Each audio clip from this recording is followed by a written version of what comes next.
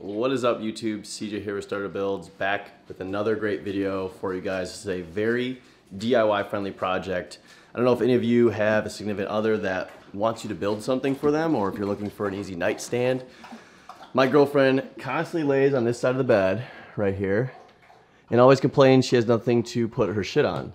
So it just kind of flops on the floor there. So today I'm gonna be creating a very easy, very budget friendly DIY project. Also too, we have a new guest on the Starter Builds channel. Everyone say hello to Millie. Millie, what are you doing? Why are you chasing me? Hello, Millie. Hello? Hello? What's up, Zoe? Zoe, Millie. These are the shop puppies. Yeah, you love the camera. All right, well, let's go out to the shop and let's start this DIY side table, coffee table project, whatever you want to call it. Ain't that right, Millie? Let's get to building. So back to what I was saying. Could, could be us.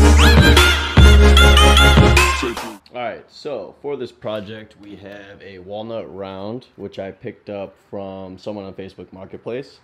It's gonna be very simple. You could also get a round uh, from Lowe's or Home Depot. They sell pre-made rounds that you'll just have to sand a little bit and stained.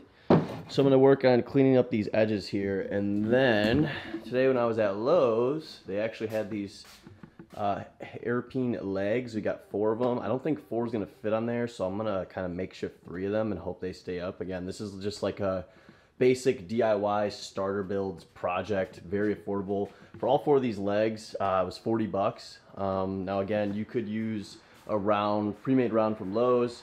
You could use like a square slab like that. You could use, you know, MDF and kind of router the corners off a little bit. There's a wide variety of ways to make this little side table, end table. Um, the whole goal of this channel is to help anyone who's looking to get into DIY uh, create things that are cool and unique and handmade. So we're gonna be walking through this today and I'm gonna start by cleaning up these edges and then we'll get it all sanded, get it to a nice finish, attach the legs and put on some finish and we'll be good to go.